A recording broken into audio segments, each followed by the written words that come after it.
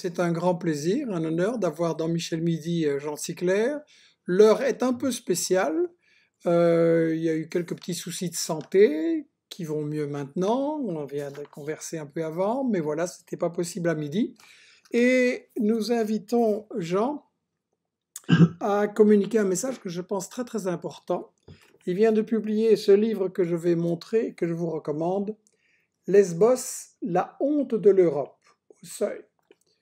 Et ça, c'est un petit bouquin, témoignage personnel, mais qui va vraiment au fond des choses et qui montre effectivement que les droits de l'homme sont absolument pas respectés par des puissances qui se disent les grands défenseurs de la démocratie et des droits de l'homme. Et donc, il y a vraiment une interrogation et surtout une action à avoir là-dessus. Euh, Jean, pourquoi écrire un livre sur Lesbos et euh, la question des migrants, la question des réfugiés aujourd'hui?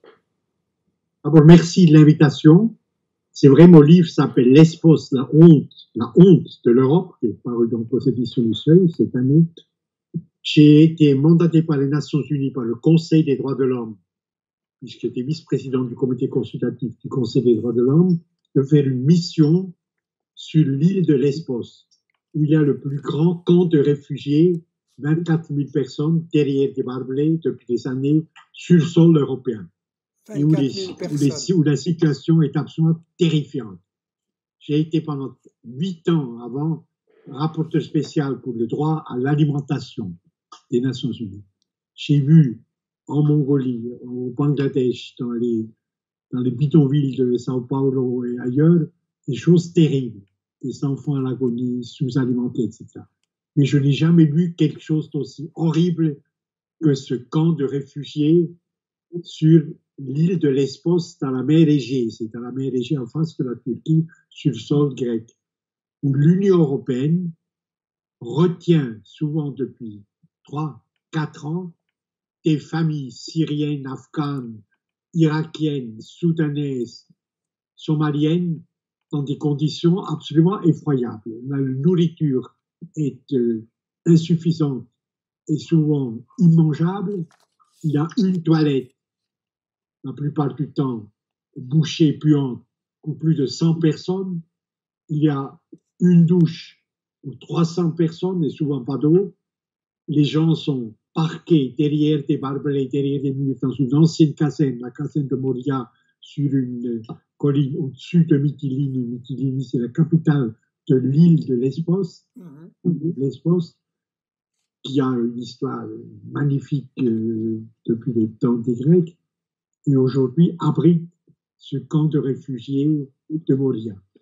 Et ce qui m'a le plus, enfin, parmi toutes les choses que j'ai vues, les gens sont vraiment traités au nom de l'Europe, sur le sol européen, comme des animaux. Le pape si je peux le citer, 1916, a visité Moria et a dit ça me rappelle, ça rappelle par certains aspects les camps de concentration. Mmh. Alors, ce qui se passe là-bas, cette tragédie, elle est voulue par l'Union européenne. L'Union européenne enferme dans cette ancienne caserne et sur quatre autres îles voisines, plus petites, enferme en tout 34 000 personnes. À Lesbos, à Moria, donc par mon livre, c'est 24 000, 24 000 personnes. Dans des locaux qui, sont prévus pour 10 euh, fois moins de personnes. Qui ont déposé une, demande d'asile qui n'est pas traitée. Mhm.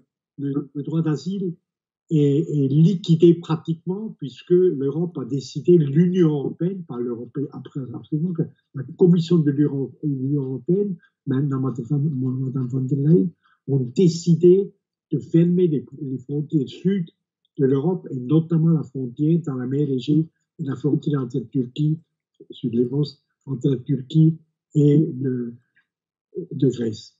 Et ils ont créé ces conditions inhumaines pour dissuader les réfugiés d'arriver.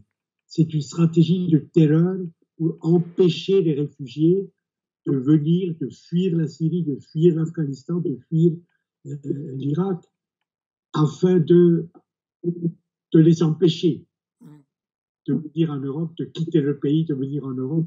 Et donc, ils espèrent que ces conditions effroyables. Et ce qui m'a frappé le plus, c'est euh, les suicides d'enfants. À peu près 4000 enfants non accompagnés, mineurs non accompagnés, Médecins sans frontières, en dehors du camp, établi une clinique euh, rudimentaire avec des euh, pédiatres, psychiatrie pédiatrique, où sont traités les enfants qui ont tenté de se suicider ou qui s'automutilent. C'est un cri de désespoir. Se s'automutilent en, par des couteaux en, se blessant volontairement dans les bras, euh, dans les jambes. Les suicides, en général, ça touche les adultes. Donc, des enfants qui se suicident, c'est quelque chose qu'on n'entend jamais. Même les enfants. Alors, c'est dans ce silence absolu, euh, loin de toute. Euh, j'ai eu beaucoup de peine, mais les, comme j'étais envoyé par les Nations Unies, on ne pouvait pas me refouler devant l'entrée qui est gardée par des policiers grecs en armes. Cette stratégie de la terreur, cette stratégie de la dissuasion est une stratégie totalement inhumaine et en plus elle est idiote. D'une part, elle liquide, euh, la base euh, morale de l'Union européenne, puisque les, accords de Rome de 57 qui ont fondé la première Union européenne, elle s'appelait différentes communautés à l'époque, en fait du respect des droits de l'homme du respect des droits de l'homme, y compris du droit d'asile, qui est un, droit de l'homme universel, le fondement même de l'Union européenne. Donc l'Union européenne est en train de liquider son propre, par sa conduite dans la mer de liquider son propre fondement moral. En plus, la stratégie de la terreur, du refoulement, de la dissuasion, cette stratégie-là, décidée à Bruxelles, est inefficace sur le terrain. Parce que si vous êtes, comme maintenant nous parlons, vous êtes bombardés, parce que les réfugiés, c'est des gens comme vous et moi, ceux qui nous séparent, c'est uniquement le hasard de la naissance, de la naissance.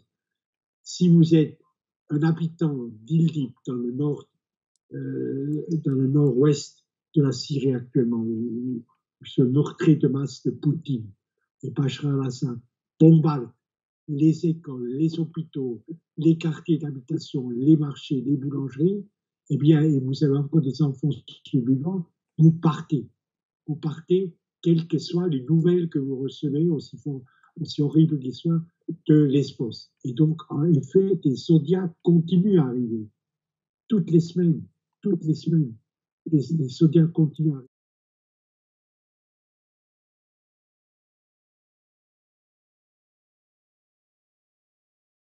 Donc cette stratégie de la terreur est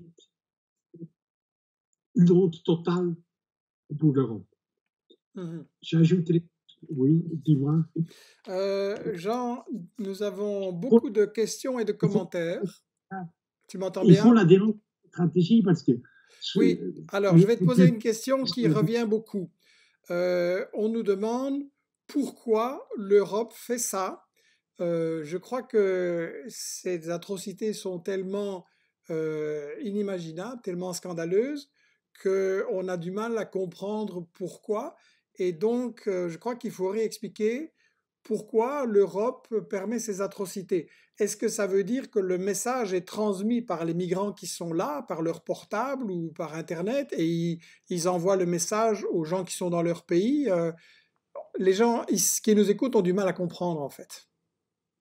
C'est vrai, quand on est européen, euh, parce que les 27 pays qui, euh, qui forment l'Union européenne aujourd'hui, ce sont des États de droit, c'est des pays civilisés, c'est des démocraties comme la Belgique, l'Allemagne, la France, etc. C'est pas des États sauvages. C'est au nom de cette Union européenne composée de démocratie, et donc en notre nom, puisqu'il n'y a pas d'impuissance en démocratie, en, notre nom que ces horreurs à l'espace sont communistes. Ta question, votre question est tout à fait euh, centrale, tout à fait mm. centrale. Alors, il y a deux raisons précises. D'une part, l'Union européenne, le vocabulaire de sa présidente nouvelle, Madame von der Leyen, en témoigne, voit dans les réfugiés une menace pour l'Europe. Une menace pour l'Europe. quand le 22 mars dernier, un afflux massif depuis la Turquie dans le nord de la Grèce, sur l'Evros, sur ce fleuve qui fait la, séparation terrestre entre la, Turquie et la Grèce, des dizaines de milliers de réfugiés ont afflué vers la frontière grecque. Les policiers grecs ont tiré, ont tué certains réfugiés, ont refoulé par la violence et se sont fait féliciter par Mme von der Leyen qui a dit la Grèce est le bouclier de l'Europe, le bouclier de l'Europe. Donc le réfugié, le réfugié comme une menace pour l'Europe. Mhm. Et le commissaire, la commissaire plutôt, qui, euh, de l'Union européenne, qui s'occupe du problème des réfugiés, a une double intitulé, son département, c'est réfugiés et promotion et, protection, protection, du mode de vie européen, du mode de vie européen. Donc, la première chose qu'il faut dénoncer comme démocrate dans cette euh, Union européenne qui est faite de nos États, et donc je répète, il n'y a pas en démocratie une, une, quelconque impuissance. Nous, nous, avons tous les droits.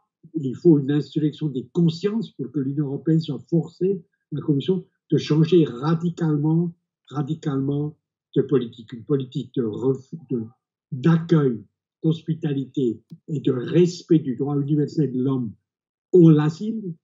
C'est l'article 14 de la Déclaration universelle des, droits de l'homme qui, qui dit très clairement quiconque est persécuté, torturé, bombardé, persécuté dans son pays d'origine a le droit de traverser une frontière et de demander aide et protection dans un pays autre que son pays d'origine. Donc ce droit universel qui est aujourd'hui lié par l'Union européenne, par la fermeture des frontières sud et par l'installation de ces camps de dissuasion, ces camps de terreur aux conditions humaines absolument inadmissibles sur le sol européen, l'Union européenne euh, a une double, je, répète, je réponds à votre question, a une double motivation. Une double motivation, d'une part, je l'ai déjà dit, dissuader les réfugiés, parce que l'univers des réfugiés est un univers où l'information circule. Alors l'Union européenne, enfin le commissaire de Bruxelles,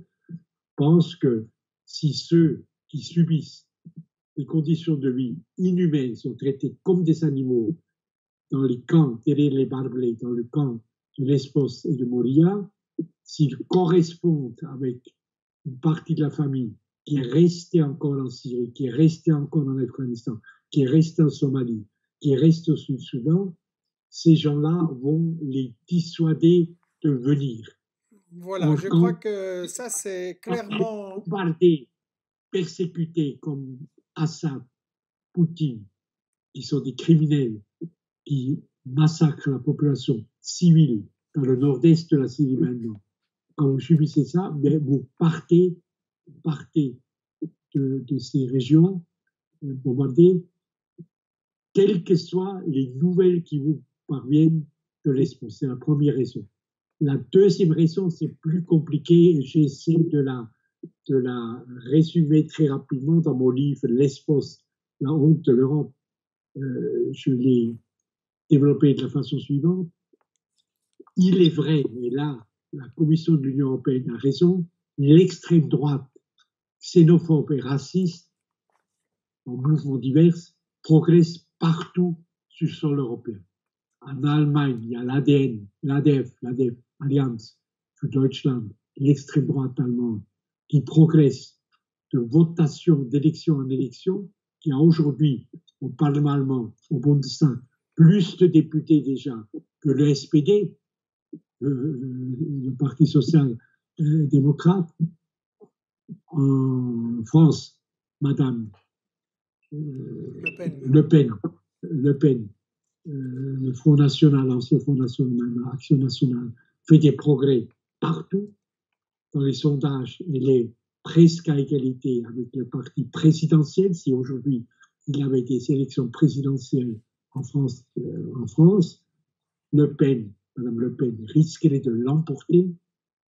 l'extrême droite progresse en Italie avec Salvini et ailleurs en, en Europe, en Hollande, en Danemark, etc. Alors, Jean, excuse-moi, ce que, tu dis. Je termine, attends, je termine.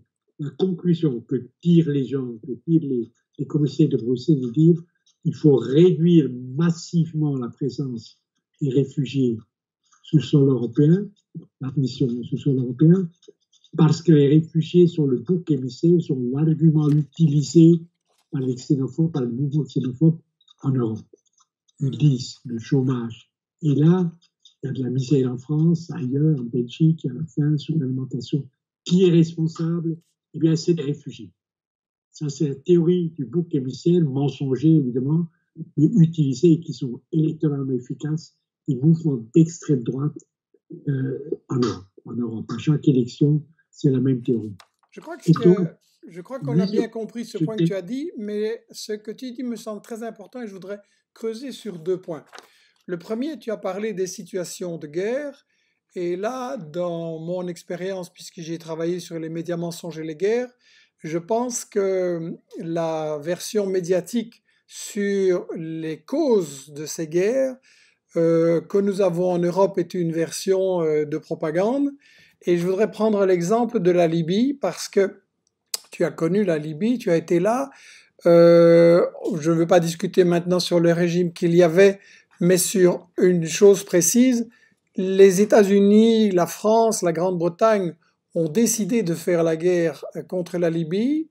Tout le monde allait averti que ça allait provoquer un chaos, que ça allait favoriser le terrorisme et euh, déclencher des vagues migratoires énormes. On les a maintenant.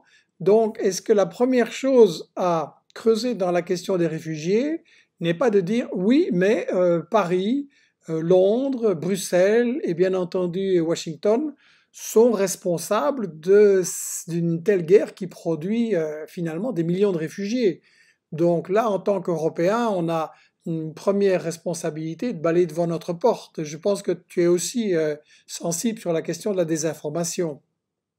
Oui, c'est certain. Toi, tu as travaillé de façon remarquable pour dénoncer ces désinformations. Ça, c'est un travail tout à fait exceptionnel que tu, as fait, créer la transparence sur ces stratégies. Mais moi, je suis un petit intellectuel, un petit bourgeois helvétique, un intellectuel. Euh, J'ai découvert ces tragédies effroyables et la stratégie de terreur mensonger de l'Union européenne et la souffrance de ces milliers de milliers de, réfugiés enfermés derrière les barbelés de, Moria, tout ce que je peux faire, ce qui est utile maintenant, enfin ce qui est peut-être, euh, je ne sais pas l'efficacité effective, c'est de dénoncer cette situation, de dénoncer la stratégie de refoulement, de liquidation des droits d'asile par l'Union européenne. Revenir sur la tragédie libyenne, c'est vrai, qui a été créé de toutes pièces, euh, une large partie en tout cas, par l'intervention de l'OTAN et notamment le gouvernement Sarkozy, ça n'aide pas les gens qui souffrent maintenant et mm-hmm. qu'il faut libérer de, de, de, ces camps de, concentration, de ces camps, de, ces barbelés, de ces barbelés, de cette sous-alimentation, de ces conditions inhumaines. Même chose la Libye, c'est vrai que l'Occident a laissé tomber très rapidement les forces démocratiques qui se sont révélées, euh, en mars 1911, de 2011, 2011 la, première, la révolution syrienne est une révolution démocratique, laïque, et au lieu de la soutenir, l'Occident l'a laissée seule. Elle était écrasée, les djihadistes sont arrivés. Bien sûr, tout ça c'est vrai, tout ça c'est vrai, mais les survivants maintenant qui sont traités comme des animaux sur le sol européen, au moins ceux-là, il faut pouvoir les libérer, les accueillir. Je voudrais juste encore dire une chose euh, rapidement. Euh, L'idée de la commission de Bruxelles qui dit qu'il faut réduire le nombre des, par tous les moyens, même pas les moyens illégaux en violant les droits de l'homme et, liquidant le droit d'asile, euh, le nombre de réfugiés sur le sol européen pour priver, pour priver les mouvements xénophobes de l'argumentation qui a tellement de succès dans les élections, du, du bouc émissaire, du réfugié comme bouc émissaire, c'est une erreur historique. C'est une erreur historique. Ça me rappelle, et je l'ai dit dans mon livre, ça me rappelle Munich. 1938, Daladier et Chamberlain montent à Munich, rencontrent Hitler et disent à Hitler, vous pouvez, vous, Adolf Hitler, vous pouvez détruire, euh, mettre en pièces la Tchécoslovaquie, intégrer au Reich les, les Sudètes, les populations sudètes, mais il ne faut pas faire la guerre. Et te dit, je suis d'accord. Alors, ce que les Occidentaux, les démocraties occidentales ont eu, c'était la destruction de la, Tchécoslovaquie et la guerre. Et la hmm. guerre. Je crois que nous nous rejoignons. Donc, je, je, termine juste avec un xénophobe, avec un raciste, avec un antisémite. On ne peut pas discuter. Hmm. On ne peut pas lui faire des concessions. Vous lui donnez le petit doigt, il vous prend la main. Vous lui donnez la main, il vous prend le bras. Vous, vous lui donnez le bras, il vous prend tout le corps. Il n'y a pas de discussion, de compromission possible avec un raciste. Un raciste, quel qu'il soit, est un ennemi de l'humanité. Il mhm. faut le combattre par toutes les forces constitutionnelles, démocratiques, pacifiques dont disposent nos gouvernements et nos opinions publiques, mais croire, comme le fait maintenant la Commission européenne, qu'il suffirait de réduire le nombre de réfugiés, d'apaiser, de faire des compromis avec les mouvements racistes qui progressent, c'est vrai, en Europe, c'est une erreur historique qu'il faut dénoncer. Il faut dénoncer. Il faut que l'Union européenne vienne à une stratégie antiraciste, rigoureuse, de combat contre les mouvements xénophobes, mais ne tente jamais, en sacrifiant des réfugiés, à apaiser ces mouvements, à croire à un compromis possible avec ces mouvements. Mmh Ce sont les ennemis de l'humanité, doivent être traités comme tels. Je crois, Jean, que nous nous rejoignions tout à fait sur l'idée que euh, les réfugiés de toutes ces guerres ont euh, le droit, euh, justement, que leurs droits soient respectés. Ça, on est totalement d'accord. Je pense qu'en ayant travaillé sur les origines et surtout sur les facteurs cachés de ces guerres, que la responsabilité de l'Europe et des États-Unis, parce qu'ils s'alignent tout le temps derrière les États-Unis, va plus loin que de simplement ne pas soutenir des forces démocratiques. Euh, bien entendu, chaque peuple a le droit à avoir euh, des réformes démocratiques et des réformes sociales et euh, le meilleur régime possible pour lui. Mais je crois que ça, ça n'intéresse pas du tout ni les États-Unis ni l'Europe parce que dans mes recherches, j'ai pu voir, d'après les propres documents de responsables des États-Unis, de la CIA, des stratèges, etc., que dès le début, il y a une véritable alliance avec Al-Qaïda en Libye, parce que c'était les seules forces qui permettaient de renverser Kadhafi et de prendre le contrôle du pays. Donc ça, ils l'ont fait délibérément et ils l'ont reconnu. Euh, dans des commissions parlementaires discrètes, ça se reconnaît aussi, mais le grand public l'ignore. Donc je crois que si on veut défendre les réfugiés maintenant, l'interrogation du public doit porter surtout sur ses propres dirigeants. Oui, mais vous avez voulu ces guerres, vous les avez déclenchées, donc vous avez euh, fabriqué les, réfugiés, vous avez fabriqué les processus. Donc là, je crois qu'il y aura tout un travail à faire sur cette euh, information sur ces guerres-là. Mais je voulais te poser une question importante parce que euh, elle revient aussi dans la question des intérêts cachés. Tu parles de la responsabilité de l'Europe qui refoule et qui fait un exemple. En même temps, on a euh, des documents des dirigeants allemands, notamment français aussi, qui disent, voilà, euh, notre économie a besoin de ces migrants, a besoin de jeunes, de gens très qualifiés, notre économie a des problèmes, et donc, est-ce qu'on n'a pas une grande hypocrisie on veut des migrants, mais à condition qu'il n'y ait aucun droit et qu'on leur fasse peur. Ah, il n'y a pas possible d'avoir une émission normale. C'est incroyable. Il y a un problème? Tu n'as pas, tu as pas entendu ma question? Rien du tout, parce qu'on ne t'entend pas. Euh, je croyais que jusqu'à présent, tu avais entendu mes questions. Je la répète. Volontiers. Voilà. Euh, en, gros, l'idée, nous nous rejoignons sur l'idée que des réfugiés doivent absolument être défendus et que leurs droits soient respectés. Ma question est que les États-Unis et l'Europe qui les suit ont provoqué la guerre en Libye, donc ont fabriqué des millions de réfugiés. Et euh, sur la Syrie, ils ont cette responsabilité aussi de s'être alliés beaucoup plus tôt qu'on ne le dit à des forces djihadistes. Mais ma question maintenant porte sur ceci. Est-ce que l'Allemagne, la France et des pays comme ça n'ont pas intérêt à avoir des réfugiés, des migrants qui viennent renforcer leur économie et fournir une main-d'œuvre gratuite, formée, qualifiée? Est-ce que donc il n'y a pas un double discours sur la migration en Europe?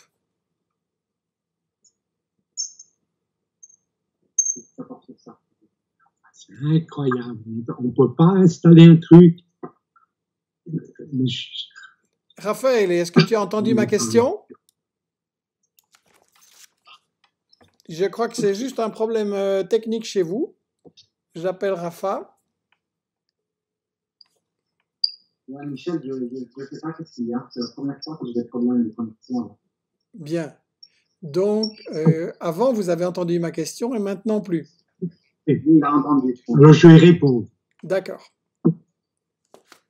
Oui, mais la question est juste. C'est vrai, quand on regarde ce qui se passe par exemple au sud de l'Italie ou en Espagne, où des réfugiés sans aucun droit, euh, sans aucun respect de leurs droits, de leurs droits humains, sociaux, et euh, économiques, sociaux et culturels, ou civils et politiques, sont utilisés comme une main-d'œuvre quasiment esclavagisée, esclavagisée avec des salaires ridicule, précarité économique permanente, c'est vrai, il y a un aspect d'abus dans l'accueil des réfugiés.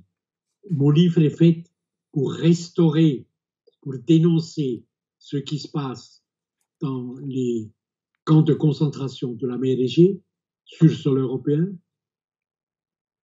Je dénonce et j'essaye que l'opinion publique, c'est toujours l'espérance de, tout écrivain, de, tout intellectuel, que l'opinion publique dans nos sociétés démocratiques se lève, s'insurge et impose à nos gouvernements et donc à l'intergouvernementalité, euh, à cet état de droit, comme disait Schuman, l'état de droit continental qu'est l'Union européenne, un changement radical dans leur politique. Mmh. Accueillir par le respect du droit à l'asile les persécutés, les familles persécutées, sans arrière-pensée économique quelle qu'il soit, respecter leurs droits humains, ne pas les renvoyer comme l'Allemagne le fait par exemple pour l'Afghanistan aujourd'hui, y a une guerre effroyable, secrète, euh, mais qui fait des morts tous les jours en Afghanistan. L'Allemagne expulse ses Afghans de l'Afghanistan, toutes ces pratiques comme les barbelés doivent cesser et le réfugié doit, être accueilli, protégé, intégré par l'Union européenne comme l'exige le droit international. Et ce qu'il faut, je le répète, ce qui nous sépare des réfugiés, c'est uniquement le hasard de la naissance. Et mon livre a pour seul but de dénoncer les camps d'accueil inhumains dans la mer Égée, notamment l'Espace, qui est le plus grand camp de réfugiés sur le, sur, le sol européen. Évacuer ces camps avant que le, coronavirus arrive, et évacuer ces camps sur le sol européen. Mais là, il se pose un problème dont je voudrais parler, dont on n'a pas parlé, c'est que les huit pays d'Europe de l'Est intégrée après l'effondrement de l'Union soviétique, intégrée dans l'Union européenne, dans l'Union européenne, les huit pays de l'Europe de l'Est refusent tout accueil des réfugiés. En 2015, l'Union européenne a élaboré, par la diplomatie multilatérale, a élaboré une, un plan de relocalisation, c'est le terme officiel de relocalisation, obligeant chacun des États membres, à l'époque c'était 28, aujourd'hui ils sont 27, chacun des États membres d'accueillir, selon sa propre capacité économique et son assiette démographique, d'accueillir un nombre déterminé de réfugiés. Or, la Hongrie, la Croatie, la, euh, la Pologne, etc., ont refusé totalement jusqu'à ce jour. Ont hmm. refusé d'accueil de quelconque réfugié jusqu'à ce jour. Et dans mon livre, je cite le, ministre, le Premier ministre polonais un exercice qui dit, qui a dit publiquement, la Pologne n'accepte aucun réfugié parce que nous devons sauvegarder la pureté ethnique de la Pologne. Hmm. Ça, c'est un vocabulaire nazi. C'est un vocabulaire nazi. Tout à fait. Alors, la seule façon, est-ce que nous demandons, enfin la société civile, ce que demande la société civile, Amnesty, euh, Médico International, etc., demande la société civile, ce que nous demandons, c'est que ces pays qui refusent les réfugiés, ces pays de un gouvernement xénophobe et raciste qui refusent les réfugiés, soient sanctionnés par l'Union européenne, ce qui est juridiquement tout à fait possible parce que ces pays-là sont des pays pauvres en général, qui vivent essentiellement, en Hongrie jusqu'à 80%, qui vivent essentiellement des subventions, notamment du Fonds de l'équilibrage euh, du développement régional, des subventions de Bruxelles. Et ces subventions sont énormes. Dans les derniers six ans, 63,9 millions d'euros ont été payés en subventions, subsides en font perdu à ces peuples-là, à ces pays-là, à ces pays xénophobes de l'Europe centrale et de l'Europe de l'Est.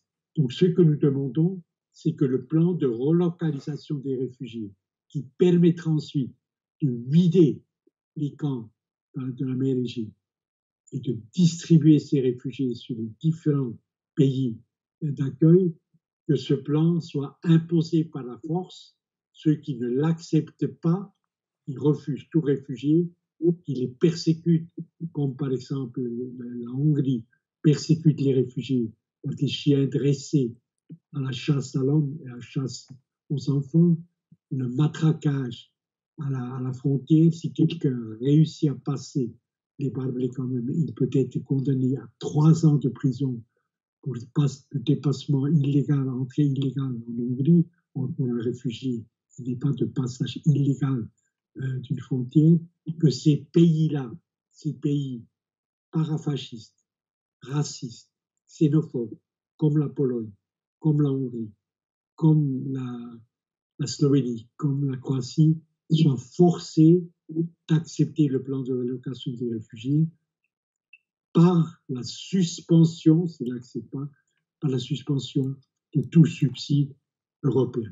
Et ça aussi, nous pouvons l'obtenir de l'opinion publique et le mettre absolu dans les pays euh, démocratiques. Et si nous l'exigeons, si l'opinion publique, s'il y a cette insurrection de la conscience collective que mon livre veut aider à provoquer, aider à provoquer, que votre travail aide à provoquer tous les jours, si cette insurrection de conscience a lieu, le plan de relocalisation sera imposé et les réfugiés seront libérés des barbelés et pourront intégrer un processus d'examen d'asile dans chacun des pays européens d'accueil. Ça dépend de nous. Il y a pas, il y a, il y a, on peut pas, on peut pas refuser sa responsabilité. Chaque, nous avons chacun du fait de la constitution belge, constitution française, constitution allemande, constitutionnelle néerlandaise, etc., donne aux citoyens et citoyennes tous les droits et libertés pour s'organiser, pour exiger, mmh. pour faire changer par la pression jusqu'à la grève générale, pour faire changer la politique inadmissible de leur gouvernement. Oui, je pense que c'est très important ce que tu dis. Euh, tu as parlé du coronavirus et justement par rapport aux réfugiés, comment analyses-tu cette euh, crise euh, cette pandémie, qu'est-ce qu'elle révèle sur notre société? Elle révèle d'abord une inégalité incroyable. Elle révèle une chose évidente, c'est que le capitalisme tue, le capitalisme tue. La loi, les deux lois fondamentales du capitalisme, la maximalisation du profit et la loi sur les frais de production le plus bas, eh bien, les grands trusts pharmaceutiques ont délocalisé l'essentiel, beaucoup, une grande partie, pour certains, essentiel, comme Novartis, La Roche, euh, Aval, de leur production pour des raisons de maximalisation du profit à salaire bas, à hmm. salaire très bas, en Inde, en Inde, dans les zones de production spéciale en Chine, et tout Mais est-ce que, est-ce que Jean, excuse-moi, est-ce que le fait que dans nos pays, on n'a pas bougé sur le coronavirus pendant deux mois, alors que des pays comme Cuba, comme le Venezuela, comme le Vietnam prenaient le problème euh, en main très fort dès le début, euh, testaient les gens, les assistaient, leur fournissaient euh, des médicaments, de l'alimentation quand ils étaient contaminés et faisaient toute une éducation et qu'ils ont arrêté l'économie pour justement casser la chaîne. Et ça, on ne l'a pas fait en Europe, on ne l'a pas fait en Grande-Bretagne, on ne l'a pas fait aux États-Unis. Est-ce que là, on n'est pas dans justement la démonstration, comme tu dis, que le, le capitalisme tue, dans la mesure où ils ont absolument voulu euh, continuer la production, que le profit passait avant la santé et euh, même la survie des gens, est-ce que c'est pas surtout là qu'il va falloir que les citoyens organisent euh, des commissions d'enquête et qu'on rende des comptes? Il faut d'abord restituer le pouvoir régalien des États dans le domaine de la santé, dans le domaine de l'alimentation, par exemple, que la santé soit prioritaire et régalien, donc un pouvoir régalien de l'État, euh, euh, d'intérêt général, comme la défense nationale, etc. Un service public, donc. Service public, que les trusts pharmaceutiques soient forcés de rapatrier leur production de médicaments essentiels, de masques, etc., etc., sur le territoire national. Je suis d'accord, mais il faut reconnaître qu'ils n'ont voulu faire aucune recherche sur le coronavirus alors qu'on a déjà eu tous les experts qui nous disaient en 2005 il va y avoir d'autres virus, il faut faire de la recherche, ils ne l'ont pas fait. Donc même s'ils produisent en Suisse, en, France, etc., euh, on a besoin, à mon avis, d'un service public de lutte contre les virus. Il faut plus. Il faut que l'État prenne la main sur le secteur pharmaceutique. Oui. Et si le secteur pharmaceutique n'obéit, refuse, refuse les injonctions de l'État, il faut prendre des parts de capital. Et au dernier, ou alors les nationaliser, ou les nationaliser des grands, les grandes sociétés multinationales pharmaceutiques mondiales. Est-ce que l'industrie est-ce que l'industrie pharmaceutique n'a pas une grande responsabilité dans le fait que dans toute une série de pays du tiers-monde, du Sud, les soins de santé euh, ne sont pas du tout au bon niveau. Il y a même un recul. Là, c'est pas seulement les sociétés pharmaceutiques, c'est vrai ce que tu dis, mais c'est essentiellement la dette extérieure. La dette extérieure dans ce temps de pays, je prends les 123 pays dits du tiers-monde, sans les cinq BRICS, sans les cinq euh, émergents, qui sont le Mexique, la Russie, la Chine, le Brésil et l'Afrique du Sud sans ces cinq BRICS, comme on les appelle, les autres pays de l'hémisphère sud ont une dette cumulée souveraine de près de 2 000 milliards, 2100 milliards exactement de dollars. Le Mali, le, Sénégal, le Bénin, etc., tout ce que le Mali ou le Bénin peut gagner avec un peu d'exportation du coton, par exemple, c'est immédiatement immédiatement à payer les, banques européennes, américaines ou le FMI, les banques financières, mhm. les, les tranches d'amortissement et les intérêts. Et ces pays-là, surendettés, n'ont pas le moins de sous pour, pour, investir dans les hôpitaux, euh, dans les services de santé de base dans les villages. Ils ne sont pas le moins de sous. Donc la toute première chose que la pandémie nous apprend, c'est que, A, que le virus ne connaît pas de frontières, euh, que c'est un problème global qu'il faut résoudre et qu'il faut annuler immédiatement, radicalement, totalement la dette extérieure des pays les plus pauvres. Mmh. Parce qu'en remboursant la dette, un peu d'argent pour construire des services de santé de base, un secteur sanitaire digne de ce nom. Parce que la pandémie ne disparaîtra pas avant longtemps, malheureusement, de notre planète. Mais ça aussi, nous, pays dominateurs, enfin nous, opinion publique dans les pays dominateurs, nous pouvons l'obtenir par notre action politique collective. Mmh. la dette des pays les plus pauvres. Tu as parlé des banques. Est-ce que la finance internationale, je pense à BlackRock, à Vanguard, évidemment aux banques suisses aussi, est-ce qu'elle n'a pas un impact très négatif sur les soins de santé? Moi, je suis citoyen genois, citoyen de la République de Genève, euh, donc suisse, et il est évident que dans les vies, mon pays est gouverné à une, constitution démocratique, un parlement, on triche peu dans les élections, etc. Mais le pouvoir réel du pays, c'est l'oligarchie financière. Je pense que c'est la même chose en, France, la même chose en Belgique. Tu as été parlementaire, mais le pouvoir. Tu as, pardon, tu as été parlementaire, mais le pouvoir n'était pas au Parlement. Oui, moi j'ai été longtemps député de Genève au Parlement fédéral à Berne, ça servi strictement à rien. J'ai appris des choses, bien sûr, sur la stratégie de l'ennemi, mais le pouvoir est évidemment pas du tout dans le Parlement fédéral ou dans le Conseil fédéral, qui sont les sept qui gouvernent le gouvernement de la Confédération helvétique, qui par ailleurs est un pays civilisé, magnifique paysage, une multiculturalité tout à fait formidable que j'aime.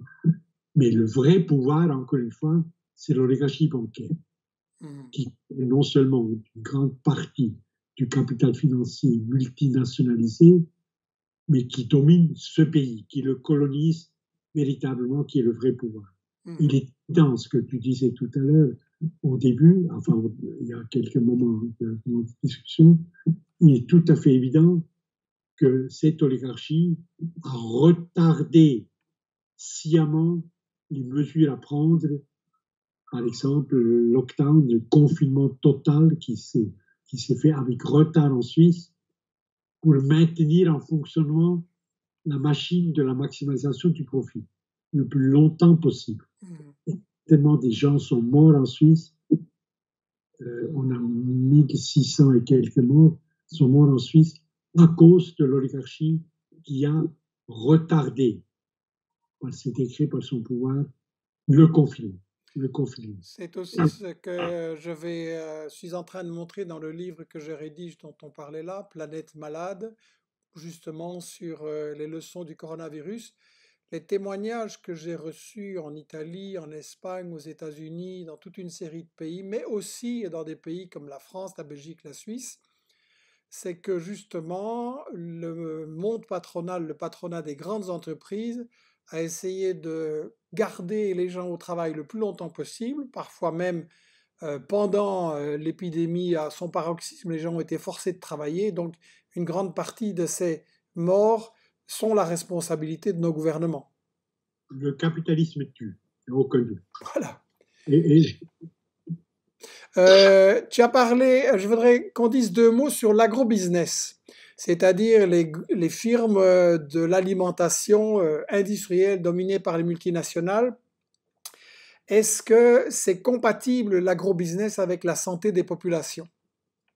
Ah, Certainement pas, mais ça c'est un combat à mener. Pour l'instant, les peuples sont perdants. Je prends ce qu'on appelle les aliments de base. Les aliments de base, c'est le riz, c'est le blé, c'est le maïs qui couvre en temps normal à peu près 75% de la consommation mondiale. les aliments de base sont dominés, contrôlés à 80%, un peu plus, 82% l'année dernière, par 11 sociétés transcontinentales privées, par 11 qui gouvernent la production, le stockage, le transport, la, la commercialisation des aliments de base, de et qui fonctionnent évidemment selon le principe de la maximalisation du profit. Je prends un exemple, la faim dans le monde, qui est le scandale absolu de notre temps. Tous les cinq secondes, C'est la FAO. Tous les 5 secondes, un enfant dessous de 10 ans meurt de faim ou de ses suites immédiates, c'est des maladies corps, ou noma, etc. Tous les 5 secondes. Près d'un milliard d'êtres humains, nous sommes 7,3 milliards sur Terre maintenant, près d'un milliard d'êtres humains sont gravement et en permanence sous-alimentés, mauvais de mort. Tous les ans, à peu près 72 millions de personnes quittent la planète, enfin, toute de mort confondues. 14% de ces 71 millions de morts par an sont morts de faim ou de ses suites immédiates. Autrement dit, la faim, aujourd'hui où nous parlons, sur ces planètes qui débordent de richesses, est encore aujourd'hui la cause de mortalité la plus élevée de la planète. Et la même, le même rapport qui paraît tous les ans de, de donc de l'Organisation pour l'agriculture et l'alimentation des Nations Unies, le même rapport qui s'appelle l'insécurité alimentaire dans le monde, qui donne les chiffres des victimes qui sont contestés par personne, le même rapport de l'effort dit que l'agriculture mondiale, dans l'étape actuelle de son, de son devenir, de ses forces de production, pourrait nourrir normalement, normalement, ça veut dire 2200 euh, calories individuelles par jour, pourrait nourrir normalement 12 milliards d'êtres humains. Ils ont mmh. presque le double de l'humanité actuelle. Si la distribution ne dépendait pas, comme actuellement, du pouvoir d'achat, mmh. mais si le droit à l'alimentation normativement était respecté et l'accès à l'alimentation était réglementé par des normes internationales. Mmh. Aujourd'hui, nous parlons, c'était différent dans les siècles passés, il n'y a plus de manque objectif. Il n'y a plus de fatalité. Un enfant qui meurt de faim, là, maintenant où nous parlons, est assassiné. Hmm. À propos de l'agrobusiness, tu as donc, je rappelle donc euh, que tu as été le rapporteur euh, sur le problème de la faim pour les Nations Unies pendant cinq ans. Après, c'est un Belge qui t'a succédé, Olivier de Scuter, et tous les deux, et tous les deux, vous avez pointé le fait que, en fait, euh, l'agrobusiness, donc ces multinationales de la santé aux États-Unis, en France, en Suisse, en Belgique aussi, directement étranglent les paysans et euh, rendent en fait impossible le droit à l'alimentation. Oui, c'est vrai. Tu as parlé de Olivier de Chutel, qui homme tout à fait remarquable, qui m'a succédé comme rapporteur après huit ans, succédé comme rapporteur et qui est aujourd'hui rapporteur pour l'extrême pauvreté, qui est un homme remarquable pour son travail, que je respecte beaucoup.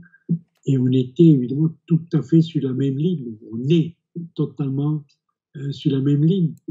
La, ces sociétés multinationales, transcontinentales, privées, décident chaque jour qui va vivre et qui va mourir sur cette mmh planète. C'est aussi simple que ça, en fait. Et il faut briser ce monopole et instaurer le respect des droits économiques, sociaux et culturels de l'homme, comme on doit imposer le respect des droits civils et politiques de l'homme, donc la démocratie, la démocratie. Et le respect parmi les droits économiques, sociaux et culturels de l'homme, il y a le droit à l'alimentation, mmh. au droit à une nourriture régulière, conforme aux traditions du consommateur, hmm. satisfaisante et qui permet une vie satisfaisante et digne. C'est la définition du droit à l'alimentation. Et ça, c'est, ça, c'est, euh, je le dis un peu, un peu comme un idéaliste, qui, euh, ça, c'est la tâche de l'État. C'est la base de tout. Hein. C'est la base de tout. Hein. chacun de nous, mmh. des États et des organisations internationales interétatiques, imposer, opposer à la folie du marché, à sa logique meurtrière de la maximisation du profit multinational, opposer à cette logique meurtrière et qui a fait sa preuve comme étant meurtrière, la vision normative de l'organisation des rapports entre les hommes, c'est-à-dire le respect précis, radical des droits économiques, sociaux et culturels de chaque être humain. Chaque être humain a ses droits, ils lui sont consubstantiels au moment où il arrive sur cette planète. J'ai un petit enfant, euh, un petit-fils qui est magnifique, qui a un an, et eh bien au moment où il arrive sur Terre, il est arrivé sur Terre, consubstantiellement, il avait l'ensemble, il était en jouissance de l'ensemble de ses droits économiques, sociaux et culturels, civils et politiques, pour les rendre efficaces, organisatrices, euh, organisateurs de, de société humaine, il faut que les États, et donc nous, qui sommes les souverains de ces États, notre opinion publique, imposent le respect du droit à l'alimentation contre la logique du profit des sociétés multinationales de l'alimentation, qui ont fait un monde intolérable. Voilà, je pense qu'il est vraiment très clair. Je signale aux amis qui nous écoutent que sur le problème de l'agrobusiness et de l'alimentation qui justement affaiblit l'humanité face au virus, on a Investigation a donc publié un livre qu'on vient de te remettre, Rafa t'a remis, je pense, il y a 2-3 jours. C'est donc Je n'avale plus ça de Staff Hendricks, comment résister au virus de l'agrobusiness. Euh, je crois que c'est important de se documenter pour bien comprendre à quel point le cœur des problèmes se situe dans les capitales où nous vivons et les souffrances du monde aussi. Euh, je rappelle, euh, tant qu'on parle de livres, que pour ceux qui nous ont rejoints en cours d'émission, que tu viens de publier Lesbos, la honte de l'Europe, et que c'est vraiment quelque chose qu'il faut lire parce que c'est à la fois un témoignage humain bouleversant et à la fois une analyse extrêmement pointue des causes du problème. Euh, Lesbos, la honte de l'Europe. Jean, je vais te demander si tu veux bien de conclure pour les gens qui nous écoutent, et on a eu des gens au Canada, en Afrique, en France, dans toute une série de pays, et sur YouTube, où ce sera demain, il y en aura encore beaucoup plus. Je voudrais te demander, Jean, un message. Les gens qui t'ont entendu, euh, peut-être ils peuvent désespérer parce que c'est un tableau très noir. Est-ce qu'il y a quand même un espoir et qu'est-ce qu'ils peuvent faire pour changer tout ça? Il faut lire tes livres d'abord. Non. Je suis plein d'espoir, plein d'espérance. Puisque nous vivons en démocratie. En démocratie, il n'y a pas d'impuissance, ni pour les, les individus, ni pour les mouvements collectifs. Il n'y a pas d'impuissance. Nous pouvons tout si nous nous levons, si nous concrétisons nos actions politiques, nos responsabilités. Je reviens à la fin. Le nombre de fois que j'ai entendu jusqu'à ce jour, pas seulement quand j'étais rapporteur spécial, et je pense que Olivier de Chuter l'a partagé cette expérience, on peut rien faire contre la faim, il a toujours eu la faim, euh, les gens sont toujours morts de faim, il a toujours eu des pauvres, la misère est indéracinable, euh, on ne peut rien faire. Or, c'est un mensonge pur et simple qui sert magnifiquement les trusts multinationaux et les puissants de ce monde. Totalement mensonger, totalement mensonger. Aujourd'hui, je le répète, l'agriculture mondiale, c'est l'ONU, les qui le dit, l'agriculture mondiale, dans sa phase de développement actuel, pourrait nourrir sans problème 12 milliards d'êtres humains, c'est-à-dire le double pratiquement de l'humanité actuelle si on pouvait briser, si les États brisaient, brisaient enfin la toute-puissance des sociétés multinationales de l'alimentation, de l'alimentation. Aujourd'hui encore, pour manger, il faut avoir de l'argent. C'est le pouvoir d'achat qui donne accès à la nourriture quotidienne. Or, ça doit cesser. Ce système doit cesser et nous pouvons le faire cesser. Le droit à l'alimentation est le droit humain qui donne le droit à chaque être humain d'avoir une vie digne, satisfaisante et libre, en ayant un accès régulier à une nourriture, une nourriture conforme aux traditions du consommateur, régulière, conforme aux traditions. Et ce droit à l'alimentation, qui est l'arme ultime et absolue contre la faim, il faut l'imposer par des réformes sociales induites par l'État et exigées par l'opinion publique démocratique. Et c'est ce combat est en cours et je suis plein d'espoir qu'il va être victorieux, que les droits économiques, sociaux et culturels, la normativité, que de plus en plus d'hommes et, de femmes dans nos pays, grâce à une information qui circule, à une raison analytique qui circule des, sociétés, des mouvements de, la société civile, de vous, de toi, de, des écrivains, etc., grâce à, à ces transparences qui s'instaurent, de plus en plus de gens vont comprendre que le massacre quotidien de la faim de dizaines et des dizaines de milliers de personnes, un enfant en dessous de 5 ans, en dessous de 10 ans meurt de faim tous les 5 secondes, selon les Nations Unies. Que ce massacre, ce scandale est fait de main d'homme et peut-être brisé de main d'homme et peut-être brisé de main d'homme. Et s'engage que toujours plus de gens s'engagent dans ce combat démocratique constitutionnel, mais qui exige de la patience, de l'organisation, de la rigueur dans la revendication, que ce combat va être très prochainement victorieux, si nous le voulons. Bien. Jean, je te remercie énormément pour ce message très fort et très euh, touchant. Euh, je pense que euh, tu as montré que l'optimisme est possible à condition qu'il y ait un combat, un combat solidaire et un combat collectif.